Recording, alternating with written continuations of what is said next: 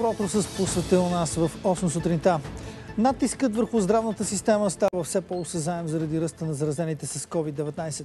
Всички 28 области в страната вече са в червено. Това означава, че няма регион, в който заболеваемостта да е под 150 на 100 хиляди души, включително и в търговище.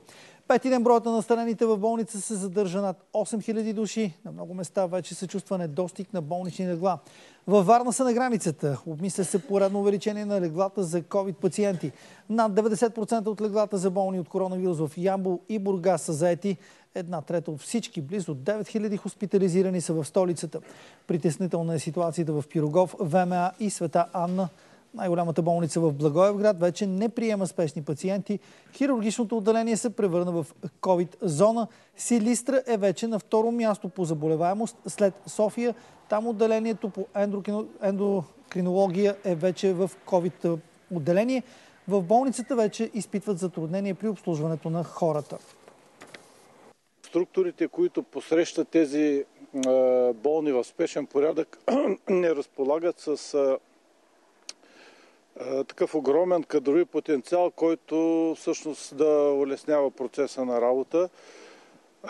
Това е затруднение, което съвсем не е възникнало така в последно време.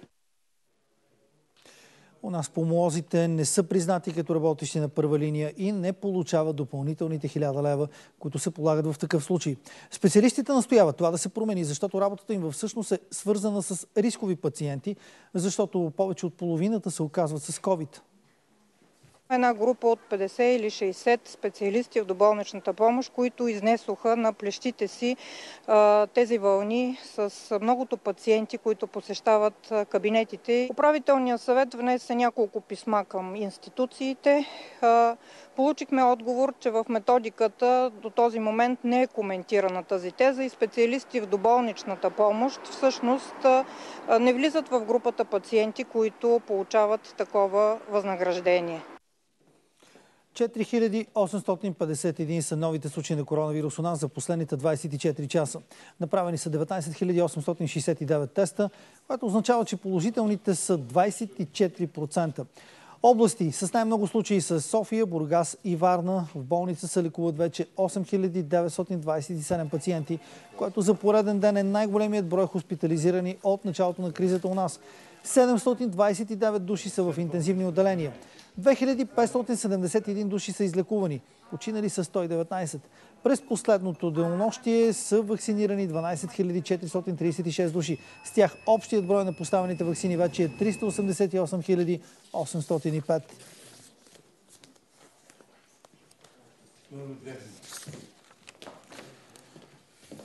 Очаква се Европейската комисия да одобри затягане на контрола върху износа на вакцини, произведени на територията на Европейския съюз. Целта е да се увеличат доставките за страните членки.